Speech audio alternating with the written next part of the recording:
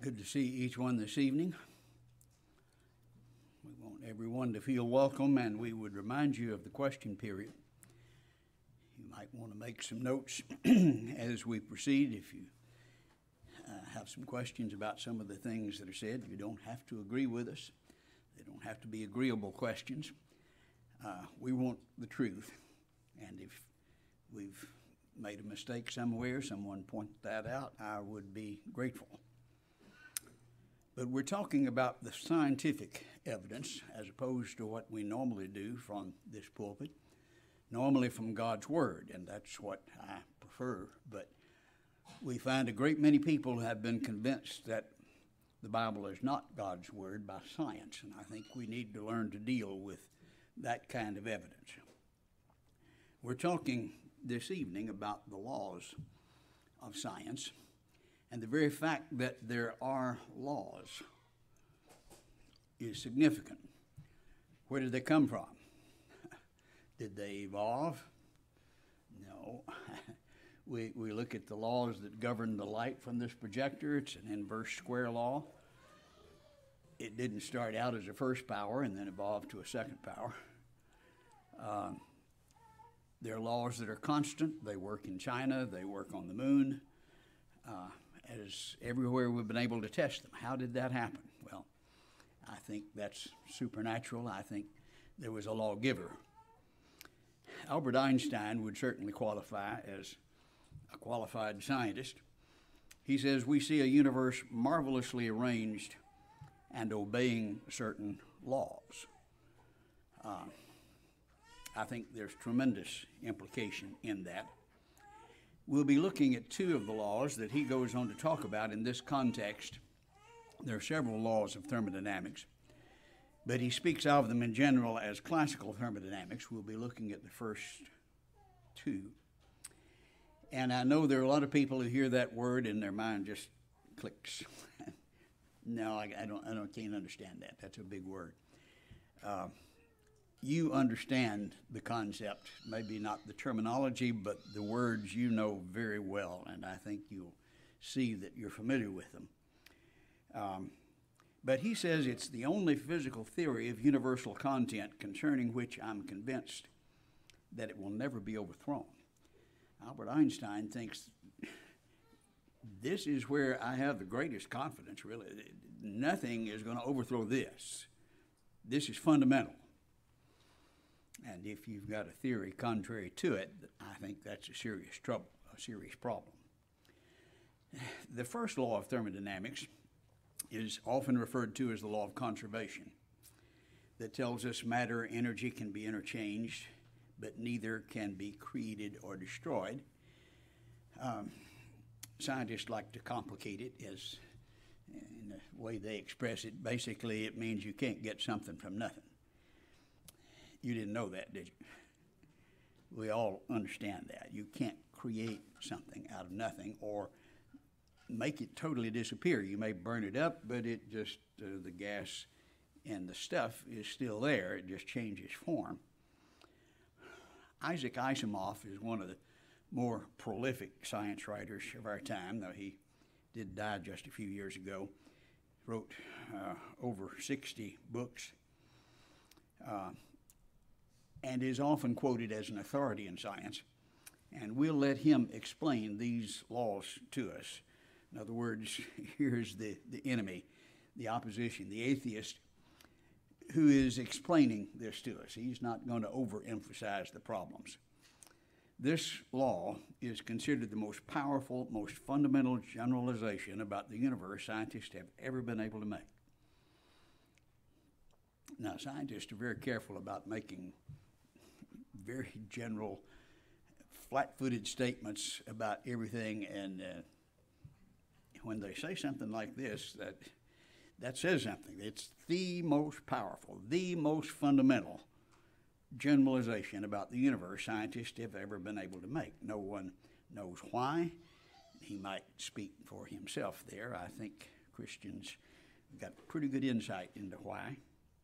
But he says all that anyone can say is that in over a century and a quarter of careful measurement, scientists have never been able to point to a definite violation. either in the familiar everyday surroundings about us or in the heavens above or the atoms within. I see our system here is not coordinated here. We've got a little bit of adjustment. Okay. Um, never a violation, whether you're talking about heavens or atoms. That's a broad span.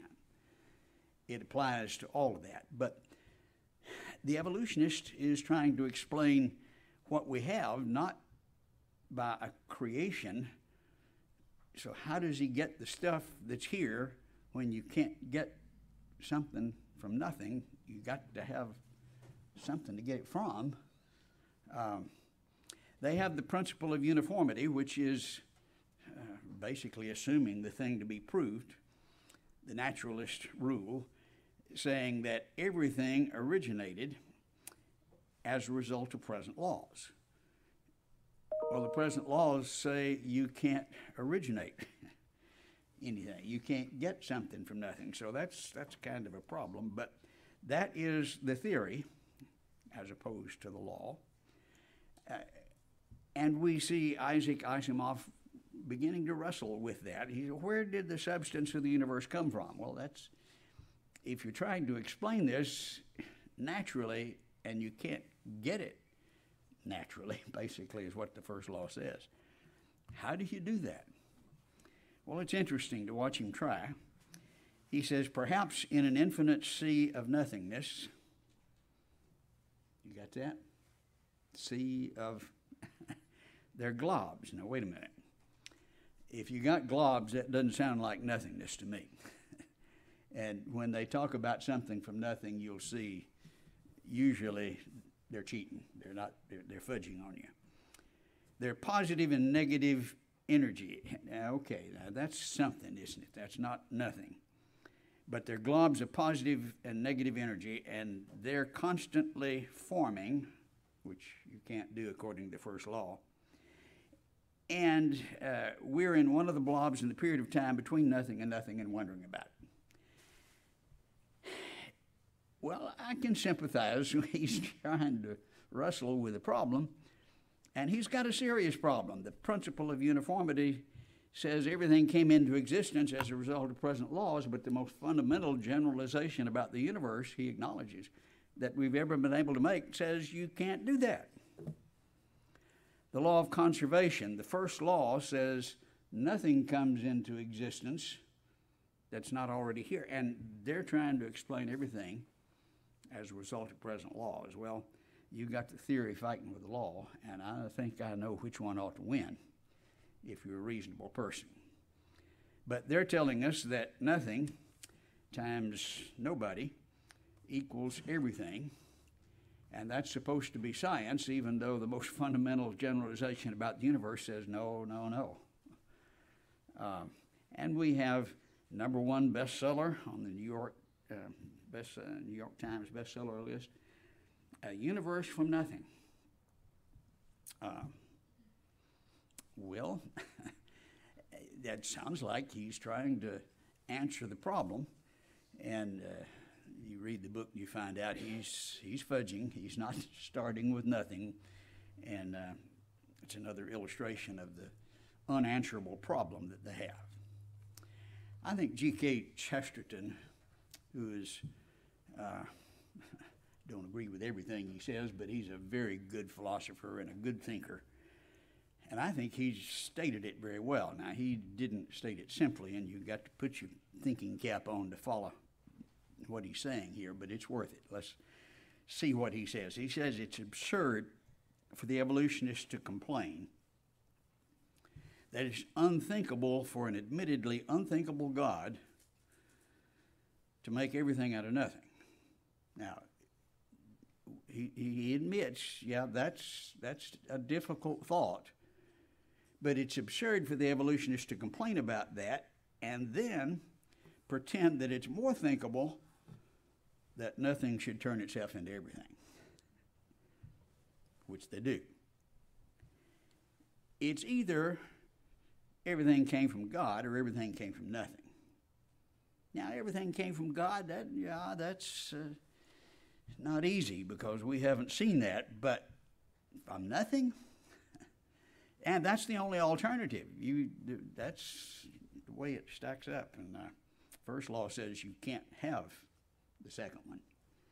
Uh, God is outside of those laws. The second law of thermodynamics is equally and even more a problem for the naturalist. It's the principle, we're told, of entropy increase. And again, here's uh, scientists like to say it in a complex way, and it's really upside down. Entropy is the measure of disorder, and so it's more disordered, and so the entropy increases. Sounds backwards, but it says it's all going downhill. Did y'all know that? we, we understand that well. Let's let Asimov, the famous atheist, explain that for us. He says another way of stating the second law, then, is the universe is constantly getting more disorderly. Viewed that way, we can see the second law all about us. Uh, we have to work hard to straighten a room, but left to itself, it becomes a mess again very quickly, very easily. Even if we never enter it, it becomes dusty and musty how difficult to maintain houses, machinery, our own bodies in perfect working order, how easy to let them deteriorate. Anybody relate to that? We understand that very well, don't we? In fact, all we have to do is nothing, and everything deteriorates, collapses, breaks down, wears out all by itself. I mean, you don't have to work at it, it just works that way. That's what the second law is all about. We look at houses, and over the years, that house gets brighter and shinier and an extra bedroom, or the opposite. We see it deteriorate. We can work to overcome that, but it takes a lot of work. By itself, it runs down and wears out. That's the second law of thermodynamics. It is the loss of order. And that's what we see. Science is about observation, and we see deterioration everywhere we look. Uh, Brother Harper understands what's going on here. Uh, that's not the way it looked when it came off the showroom floor. But what happened to it? Time happened to it. Now, time is supposed to be the, the solution for the evolutionist. Just throw time at it and it solves the problems. Time is the problem, not the solution. And I think that's a very eloquent refutation of the idea that time solves the problem for the evolutionist. The evolutionist tells us everything's going uphill. It's the opposite of what we see which is what science is about, that more and more complex things are evolving continually, whereas the principle of entropy increase, the law, the second law of thermodynamics, says no, it's going in the opposite direction, and we see that happening. So, at this point, you, you could say, well, the ball game's over. Let's go home. That, that's the obvious answer is you can't have evolution. Well, but there are objections, and we need to look at those. And when we present this on college campus, there's always this objection, and we need to know how to respond to that. We have surplus energy from the sun, and that surplus energy then is able to overpower. You can make things go uphill. You can make water go uphill with a pump and some energy and designed uh, apparatus. You see the acorn uh, absorbing the energy from the sun, and it increases, doesn't it? Goes uphill. So, the source of energy is the sun. We can see that, and that bathes uh, the earth in this extra energy, and that's the solution, you see. We, we don't have to worry about the second law of thermodynamics because we've got extra energy from the sun. And that may sound like uh, a pretty good response. There's, I think, a very obvious answer when we think about it. yes, surplus energy is necessary anytime you have an uphill process, but it's not a sufficient answer. It takes more than extra energy. Notice the statement by Simpson and Beck, Harvard, in their biology textbook. The simple expenditure of energy is not sufficient to develop and maintain order. Now, if we think about that, we understand it. He says a bull in a china shop performs work, but he neither creates nor maintains organization. Right? Yeah, he, he's got lots of energy, but that's not going to help the order of the situation, is it? The work needed is particular work. It must follow specifications. It requires information on how to proceed. And there's the rub. Where did the information come from? Energy, yep, we need that. We've got that from the sun. They've answered that part. The other part is that it requires information, and that part they've got no answer. And there's a tremendous amount of information involved when we look at living systems. Carl Sagan, the famous atheist, is talking about, and this is a 30 year old statement, it's been multiplied since then. But in the Encyclopedia Britannica, he says the information content of a simple cell is estimated around 10 to the 12th bits, 12 zeros after it. Um, he says that's comparable to about 100 million pages of the Encyclopedia Britannica. Now, that, that's a pretty good reading assignment, isn't it?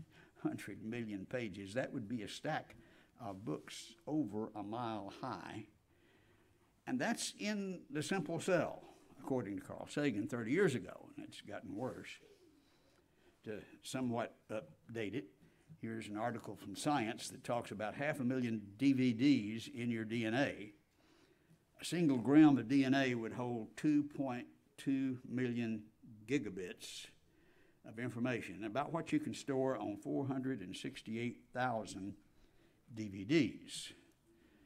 Now, a DVD holds a lot of information, doesn't it? 468. That's a single gram of DNA. Now, how many DVDs would that be? Well, you stack them up, it's about two football fields taller than the Empire State Building. In a single gram of DNA. Okay, now that, that's quite a task to explain where the information came from. And they've got zero answer you could state it this way the Empire State Building actually has about 10 million uh, bricks. The bricks, uh, we've gotten some challenges here. With, uh, I don't know how that adjusted itself. Um, but the average mammalian cell contains about 10 billion protein molecules as opposed to 10 million bricks in the Empire State Building. 10 million bricks. Well, okay, yeah, the Empire State, that takes a lot of information to put that together, but nothing like what you've got in this average mammalian cell. Eh, let's look at it this way. We've, we're familiar with the SETI project. It's looking into outer space, looking for some indication of intelligent life some signal, some little dot dash, dot dash, some information.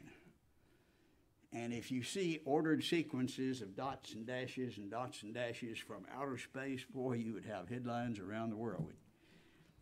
How much information would you need? Well, just a few little ordered sequences, and that would say, here's proof of intelligent life in outer space.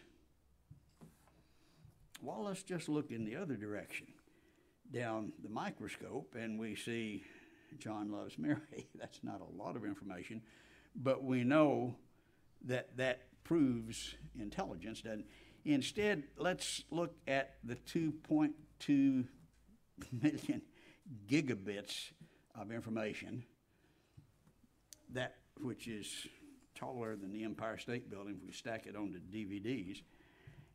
And you don't see any intelligence there A few little dots and dashes over here looking up, yep, that's intelligence. 2.2 million gigabits looking down, and nope, no intelligence. Now, does that make sense to you? I think that just illustrates the complete, total blindness of those who refuse to see the obvious. Information is really one of the ways to deal with this, and, and one of the critical areas that show the fallacies of the evolutionist. John loves Mary is enough information to show the point, but this is a whole lot more. And when you look at mutations, this is supposed to be the means by which you go onward and upward, which is actually a decrease in information. And the main problem is how do they get the amount involved? But you see a, a problem in the copying mechanism that doesn't uh, copy the information precisely, and so you got a mutation. That's downhill. Uh, I was doing a presentation uh, in Austin before the state textbook committee, and they were asking myself and the head of the biology department there at the University of Texas to present the two uh, sides, and they asked Dr. Bishop, the head of the biology department, give me an example of an increase in, uh, in information, a, a, mutation that, that goes uphill. How, how, give me an example of evolution. We ought to be able to see that. Well, he said, you look at the Texas salamander, and he has adapted in the cave, lost the pigmentation, lost his eyes, and he's adapted, adapted to his environment. And so they said, Well, Dr. Patton, how would you respond to this? Uh, well, that's a downhill process. He lost his eyes, he lost his pigmentation. I said, now if he comes up with a headlight down there, that would be evolution. But he's going in the wrong direction. This is a decrease, and that's what mutations do. But somebody ought to have an answer. Maybe Bishop didn't, but uh, what would uh, Richard Dawkins of Oxford, the leading evolutionist, spokesman for evolution. I'm going to let you listen to him and see what he says. Now, I'm going to have to explain the clip that we're going to be showing here.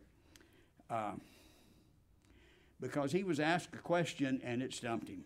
And it, I think you, that's my assessment. You can make your own.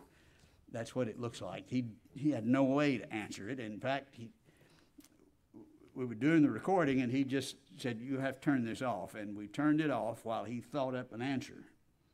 And then he got the answer, and he said, All right, now then, turn it back on. And he answered, and you'll decide for yourself whether or not he answered. But the question was, Where's a mutation that shows an increase in information?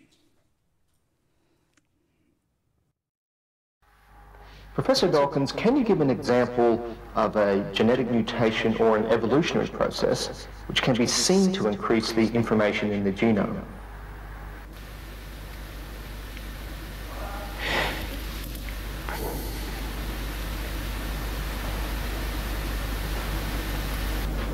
There's a popular misunderstanding of evolution which says that uh, fish turned into reptiles and reptiles turned into mammals and, and so somehow we ought to be able to look around the world today and look and look at our ancestors. We ought to be able to, to see the intermediates between fish and reptiles or between reptiles and mammals. We ought to be able to see fish kind of on the way to becoming reptiles. But of course that's not the way it is at all. Fish are modern animals. They're just as modern as we are. They're descended from ancestors which we're descended from way back 300 million years ago, there would have been an ancestor, which was the ancestor of modern fish and the ancestor of, uh, of modern, modern humans.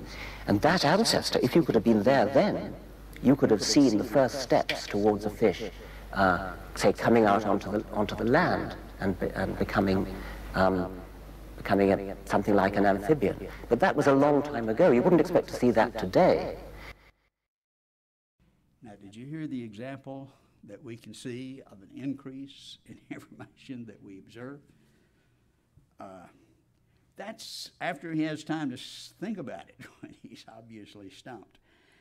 It simply dramatizes, illustrates. Yes, we've got information. We've got the source of energy. That that uh, is not the problem. The problem is what's the source of information, and they have no answer. I've asked that question at universities all across the country, and the response is a very loud silence or tap dancing like you just listened to. It's not an answer at all.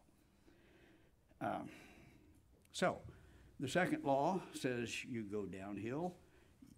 You've got to have an increase in information, and yeah, they've got the energy. They don't have the information, which is necessary. Now, another illustration of this is with fossils. We're going to be talking about that, I believe, Thursday evening.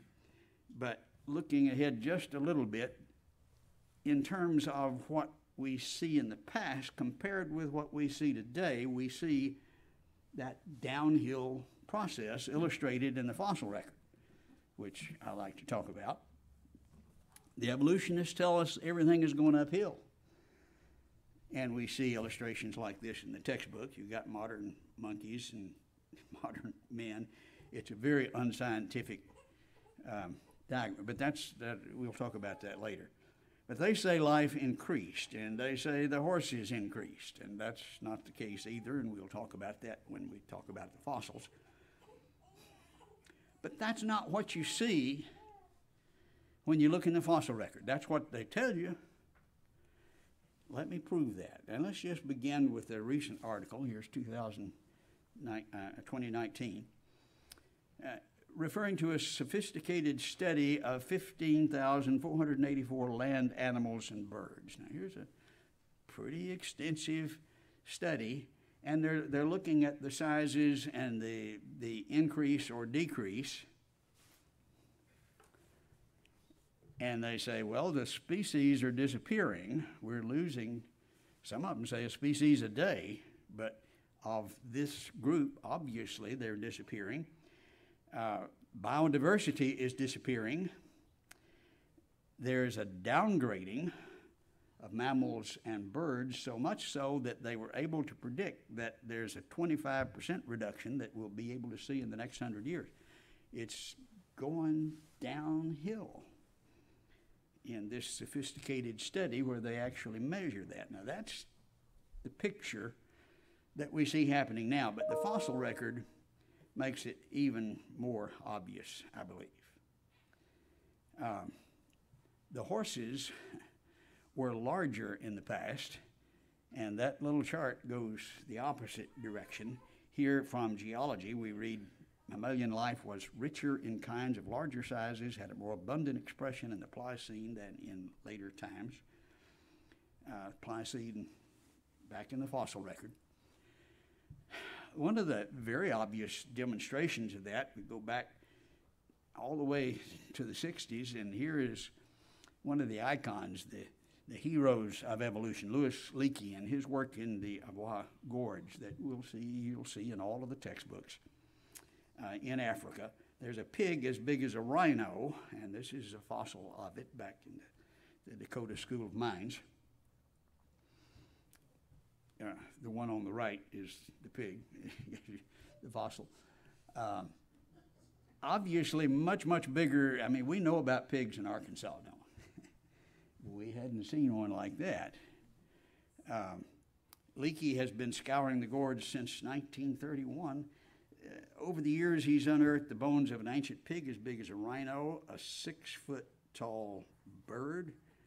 Um, well, I don't think Big Bird was around back then, but the elephant bird was, and it was about 12 feet tall.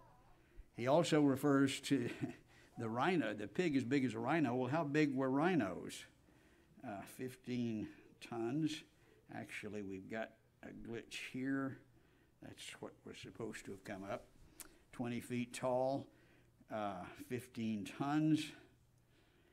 Uh, back to the article. Uh, of Louis Leakey. Here's the ram compared to the modern ram today. Uh, I'm kind of glad those things are gone. But that's a pretty good sized ram that we see on the right, but nothing like what you see in the fossil record. But man, of course, we know. We look at the basketball games and we see people that are tall, but they've always been tall people. The Neanderthal wasn't uh, really tall, but he's taller than most of the people in the world today. Cro Magnon, which was also contemporary with Neanderthal, averaged six six, which you learn about in graduate school. You wouldn't in undergrad. Um, we found two of them are over seven feet. But you look at the size of people around the world today in the U.S. It's the average is five nine point three. Well, that's a little bit taller than Neanderthal, less than Cro-Magnon. Um, but in India, the average is five five. In China, it's five four point five. In Iraq, it's five five point one. In Spain, it's five three point three. Neanderthal comes out pretty well compared with some of those. Um, and then we see in the fossil record Turkana boy, discovered by Richard Leakey, who was his son, five six. All right, that's not really big until you understand he was nine years old, which you can determine from the molars. Uh, Leakey is describing him. National Geographic was surprisingly large compared with modern boys his age. The average today for a nine year old is 4.6. And the idea that they were all smaller and we're getting bigger and bigger, that's not the picture of the fossil record. This is a donkey like what we excavated near Lubbock, Texas, that was named Ascentius gigantus, uh, nine feet tall at the shoulder. You compare that with modern donkeys, and um, nine feet is ridiculous compared to what we have today. About uh, a, lot, a, little less than a mile from that site was another site where we were excavating the uh, bison that was 11 feet at the shoulder, 12 foot horn span.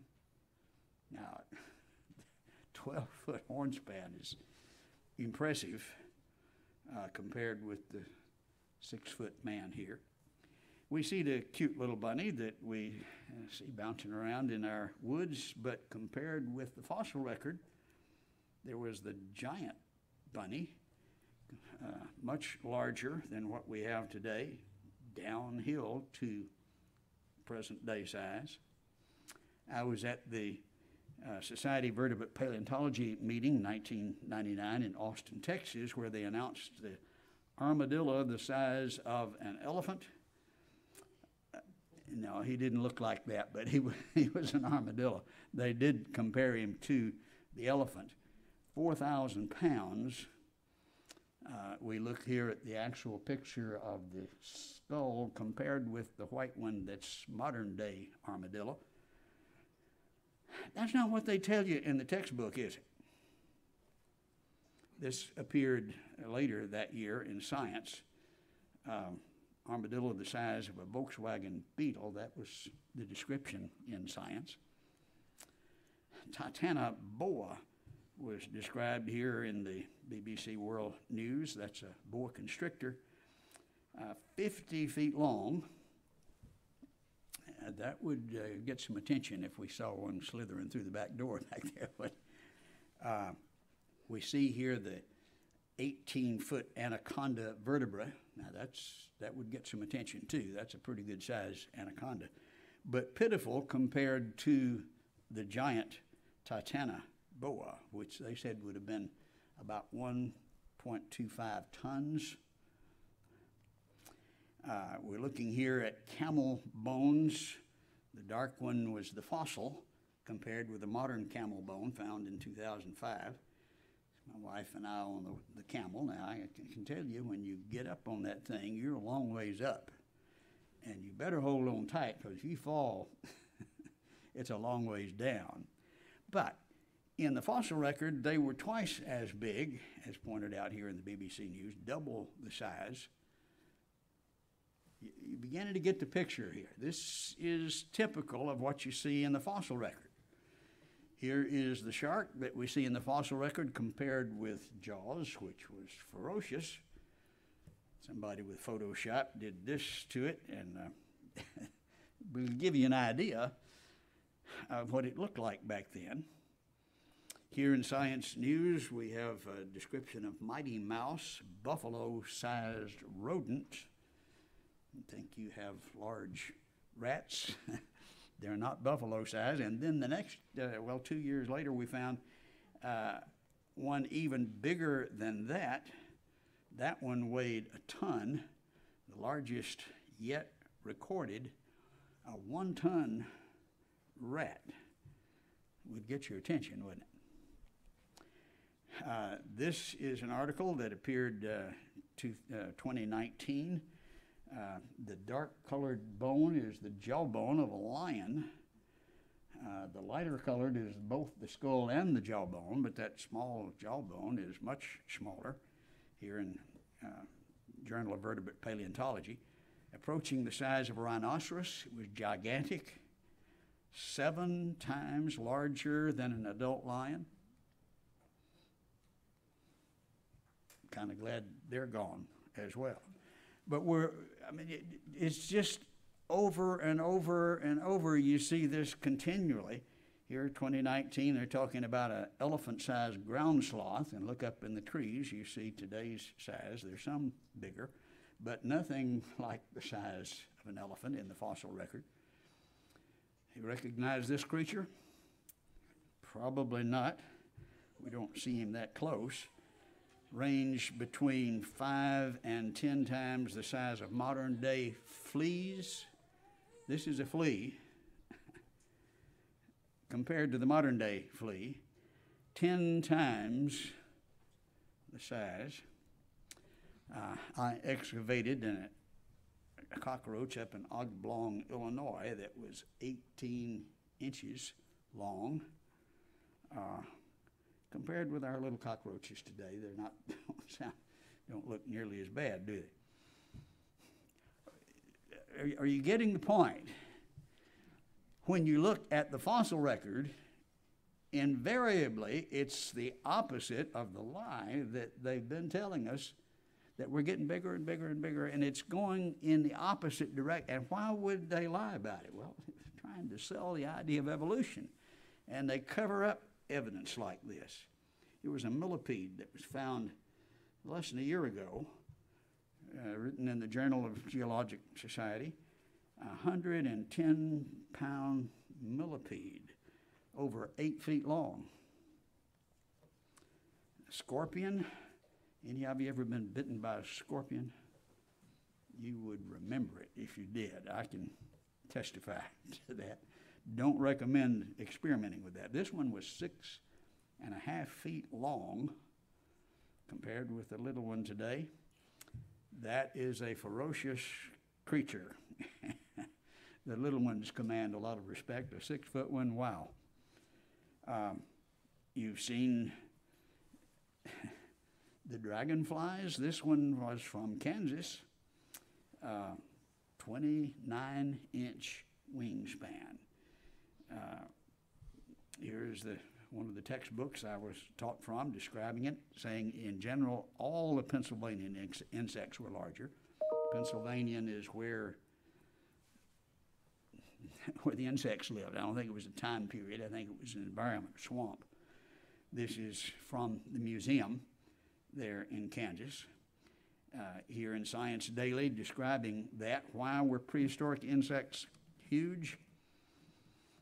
Recent study to help determine why once dramatically larger than they are today, they've been seen, we've seen a remarkable reduction in size, which you've read about in your textbook, right? Or have you? That's not what they tell you, but that's what we see in reality.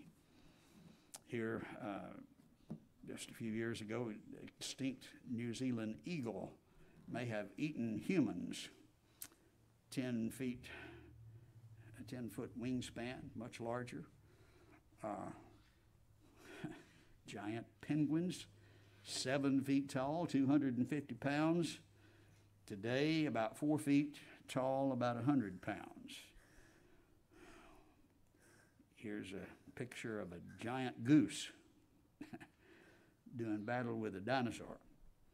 Uh, lived on a Mediterranean island between six and nine million years ago, but biggest member of the duck, goose, swan family ever to have lived. Another one was found several years ago by Duke University. He was referred to as Duke's Demon Duck of Doom.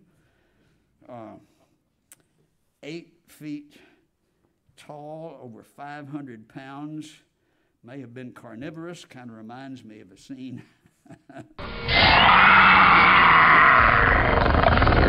here. I think we're missing our sound there, but that's all right. We can imagine what that sounded like. These are Arkansas cattails. You've seen those out in the swamp. They're how tall? Six, eight feet, maybe.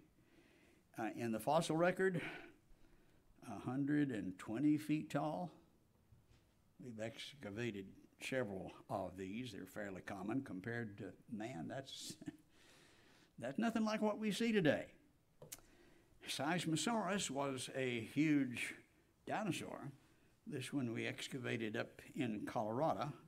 I helped to excavate 177 feet long. Uh, those were big creatures. This building is not that long, I don't think. Uh, do we have any left? Well, they're all gone. Well, not actually. There is one remaining member of the Big beakhead family, beakneck family, that is still alive today, the Tuatara from New Zealand. You can go over there and get your t shirt. It's the dinosaur's only living relative. They're about this size. See how much they have evolved. What's happened? Downhill dramatically. And that's what you see all the way through the fossil record everywhere you look, in spite of the lies they tell you in the textbooks. I don't like that. I think science involves telling the truth. And these are facts that acknowledge individually, as long as you're not putting them in the textbook. But I don't think we ought to cover that up. It is a. Now, I can't prove that the downhill process of animals was because of the second law of thermodynamics. But that's what it looks like. I mean, everything's going downhill, and that's exactly what we're seeing. Um, so I'll tuck it in here because it fits in that context. And it's not just with animals. We look at the earth itself, and what we see are downhill deteriorative processes. What's happening here? Is this going downhill or uphill? We're told that there's about 27, 127.5 billion tons of sediment eroded into the ocean each year, which we see happening here very dramatically. You can put gizmos in the mouths of rivers and multiply times the flow, and you can get a pretty reasonable estimate of how much is being dumped in the ocean. That's enough to fill a freight train that would reach all the way to the moon and halfway back. Every year into the ocean. So how come we still got continents if this has been going on four and a half billion years? At that rate, and I think it was a much higher rate because of some catastrophic things like the flood, but at that rate, it would last 60,000, which is a long, long ways from 4.5 billion. It fits our model a lot better. But it's a downhill process. We look up at the sky and you hear about stellar evolution and galactic evolution, and everything is forming. And everything you see in the sky is exactly the opposite, and dramatically so. On a good night, you can watch the meteorites come flying down and meteor showers.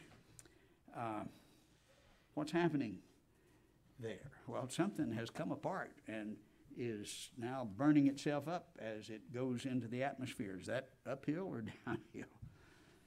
Uh, little pieces that were together are now being burned up. We look at the surface of the moon, and it's just been beaten to death. 5,000 craters, we're told, that something's come apart and boom, crashed itself out of existence into the surface. Mercury here is described by NASA as a cratered inferno. And looking at it, yeah, that's just been, th- this is a downhill process. And that's what we're seeing. We look at the Hale-Bopp comet, it's coming apart. That's what we see comets doing. How many of you have seen one form? Nobody else has either.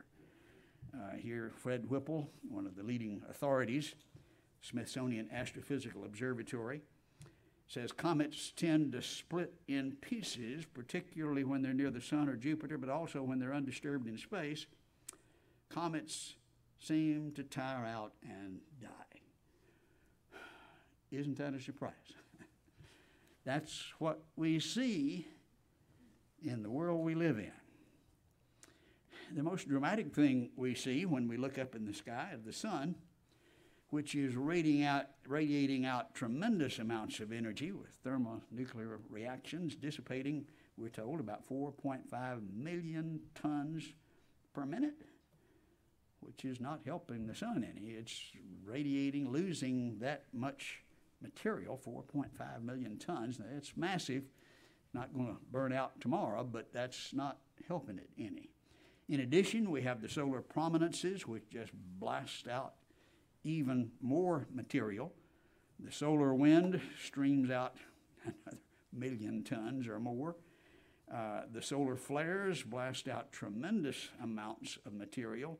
Here's one of the solar flares compared to the approximate size of the Earth. Boy, that's a big boom and a lot of material. So, just the normal stellar processes, we're talking about 4.5 million tons. The solar wind, at least another million tons, not counting the flares and the prominences. Just millions and millions of tons per minute. That's what's happening to our sun, which is an average star. So, we see what's happening to the stars. We take this average star that's dissipating tremendous amounts and we multiply that times billions of billions. We're told now 700,000 billion billion. Now, that's degeneration that is mind boggling, and that's what we're seeing, in spite of the propaganda that we hear. In addition to the normal stellar processes like our sun, which is dramatically downhill, we have planetary nebula, which blast out 20 to 30 percent of the mass into the outer space around it.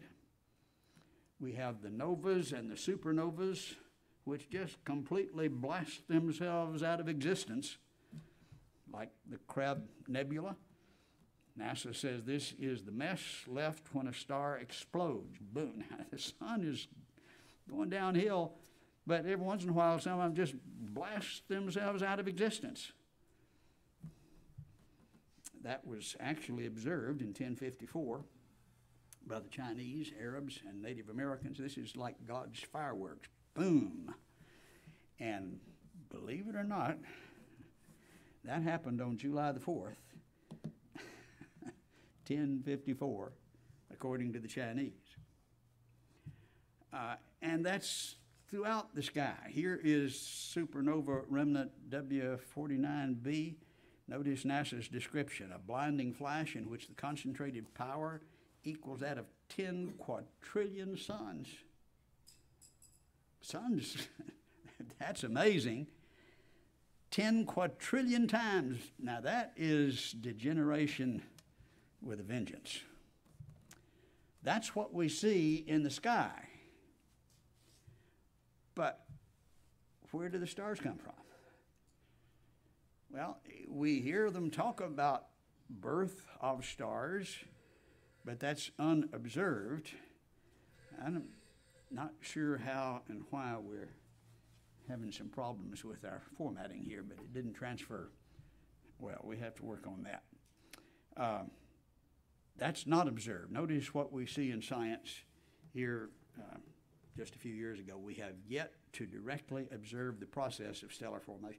We haven't seen a star form.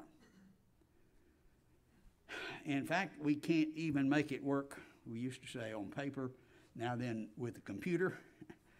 Uh, Here at Arizona State University School of Space Exploration, no computer program has as yet fully been successful in creating a virtual star from realistic initial conditions.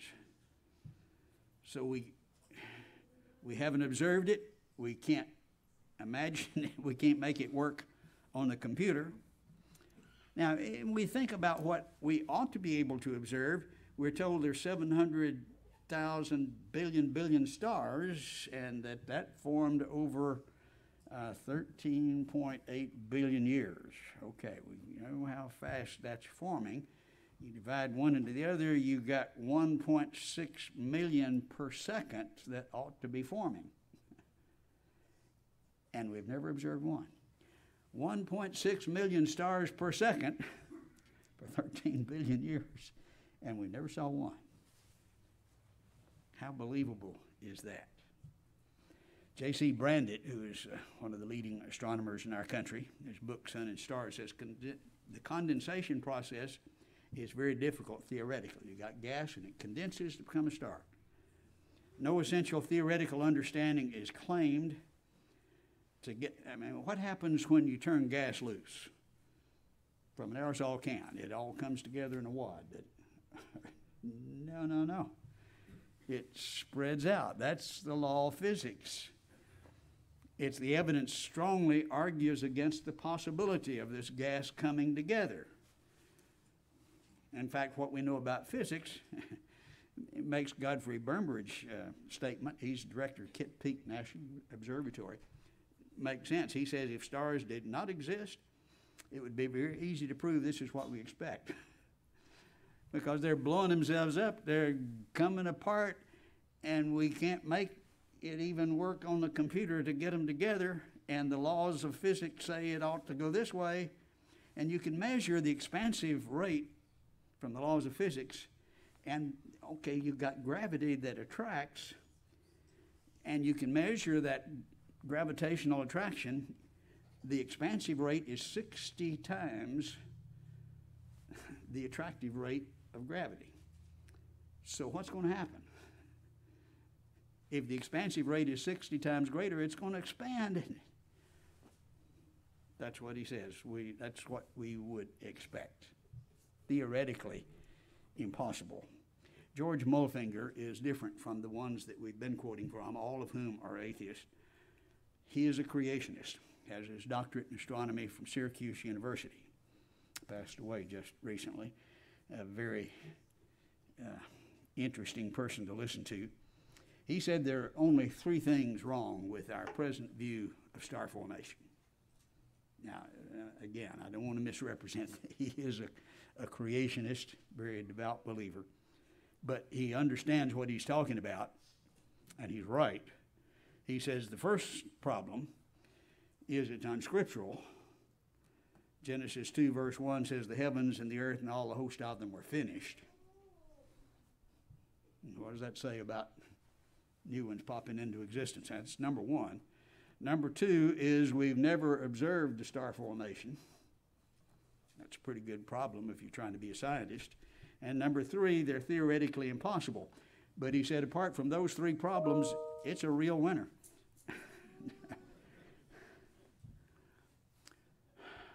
Stars we have problems with. Well, what about galaxies, which is a disk like assemblage of hundreds of thousands of stars. Uh, think of uh, University of Durham is writing in Science. He says we're starting on a shaky foundation. We don't understand how a single star forms, yet we want to know how 10 billion stars form. I'm not very sympathetic, but he, I, I can understand his problem. And then the galaxies rotate and you see the, the arms here that would indicate a ro- but what we learn from laws of physics, Kepler's third law, says that things that are further apart are not going to spin as fast as you've watched the ice skater. They pull their arms in and they go much faster. Uh, Same thing is happening here. The things that are more toward the center are going to go faster, so it will wind itself up. And it's been estimated it would wind itself up in at least three turns, but they're not wound up, and some of them have the straight bar in the center, and that bar wouldn't look like a bar after half a turn. And we're talking about just a few tens of thousands of years, maybe a hundred, certainly not billions, and they don't look like they've been there that long. They haven't turned that often. Uh, their rotation should break them apart, according to NASA. Leading hypothesis to why these galaxies don't break apart is dark matter. Uh, that's something we haven't seen. These galaxies even are outspinning this breakup limit. Even, even imagining the dark matter doesn't help. But now, then, with the Hubble and with a brand new telescope, we're able to look at uh, and see even more, and the more we've seen, the worse it's gotten. It's just multiplied their problems. the photo reveals a wide range of galaxies. Now, they're looking back, supposedly right back to the beginning, billions of years ago. Um, we won't talk about the theoretical aspects of that. Some of you have questions, we can. Um, okay, we ought to look back, we ought to see baby stars right at the beginning. That's not what we see.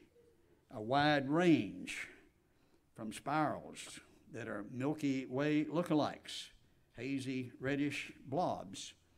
Gemini uh, Observatory depicted it this way. Here's the Big Bang over here on the left, and okay, the gradually developing universe gets the more complex spiral galaxies over time. But the glaring question is why are the galaxies in the young universe, why do they appear so mature? Right back at the beginning, they're just as mature as they were anywhere else, not the baby galaxies at all. Here from the news release, NASA, galaxy surprises astronomers, a massive, fast spinning, disc shaped galaxy so early I mean, now then, with the better telescopes, we can see back early, and it doesn't look like it's early. Challenges the current understanding of how massive galaxies form. You, you look back at the beginning, you ought to see the beginning. It, it's this analogy. In fact, this analogy was referred to in science. You go to the nursery, you expect to see babies, right? When you go to the nursery and instead you see grandpas, you got a problem. Something is wrong with the theory.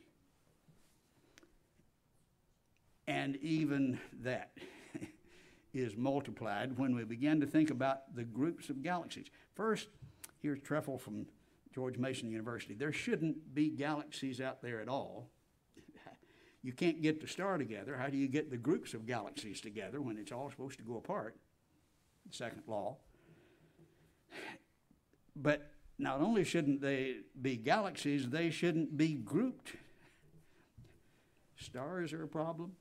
Groups of stars, galaxies are problem. Now we got groups of galaxies. And how in the world do you explain that?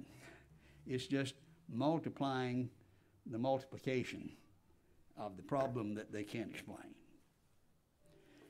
We're told about our solar system in the earth science textbooks, and this is just gas condensed and formed what we got. well, we could spend the whole evening talking about the problems, but just the most obvious is the sun, which has 99% of the mass of the solar system, compared with the planets, which have 99% of the angular momentum. In other words, the sun is just barely moving relative to the speed of the planets, which are just zipping around like crazy. 99% of the angular momentum all condensing out of the same cloud. Wait a minute. you don't have to be an expert in celestial mechanics to understand that's not going to work. Uh, Ross Taylor, Lunar Planetary Institute, says the origin of our solar system's angular momentum remains obscure. How did these things get to going real fast when the great mass of the solar system barely moves at all relative to it? It just can't be explained with physics As Jeffreys of Cambridge says, I think all suggested accounts of the origin of the solar system are subject to serious objections. The conclusion of the present state uh, of the subject would be, oh, we're missing the tail end of that, would be it could not exist. Lissauer, likewise of the moon, says, all in all, developing a theory of lunar origins that could make sense out of the data proved very difficult. Best explanation was observational error. The moon didn't exist. if you're going to follow the physics, it shouldn't be there. Uh, so we, we look at the statements. If stars didn't exist, that's what we would expect. There shouldn't be galaxies, they shouldn't be grouped. The solar system cannot exist. The best explanation of the moon, it didn't exist. What can they explain? Their explanations don't work.